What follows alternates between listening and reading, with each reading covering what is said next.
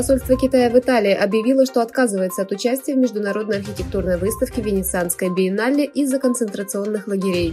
Посольство Китая в Италии сделало заявление по случаю официального открытия 18-й международной архитектурной выставки Венецианской биеннале, состоявшейся 22 мая. Как сообщает «Голос Америки», 1 июня на выставке был заявлен показ документального фильма о лагерях для военнопленных в Восточном Туркестане. В этой связи Китай объявил, что решил сняться с конкурса.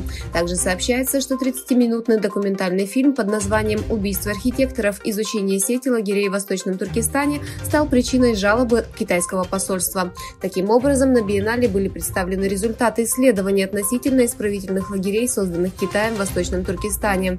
В этом коротком документальном фильме режиссеры заявляют, в сотрудничестве с экспертами, включая журналистов и аналитиков данных, была представлена ценная и важная информация о жестоком обращении Китая с уйгурами и другими этническими группами. Китай пытается скрыть от международного сообщества этнические и культурные систематические преступления геноцида, которые он совершает в Восточном Туркестане в течение последних нескольких лет. Для этого используется ложная пропаганда, так называемая подпитка Синьцзяня через культуру, а так называемая адаптация ислама к социалистическому обществу ориентирована на зло и активирует политику геноцида. 15 мая состоялась конференция, организованная Центральным исполнительным советом Китая, на которой было предложено решительно углубить усилия Центра по полному распространению распространению политики ассимиляции геноцида в Восточном Туркестане. Президент и председатель ПСР Реджеп Таип Эрдоган объявил о новом кабинете министров вечером после принесения присяги в Великом национальном собрании Турции и начала своего третьего президентского срока. Министром внутренних дел назначен Али Ерликай, министром иностранных дел Хакан Фидан, министр казначейства и финансов Мехмед Шимшек.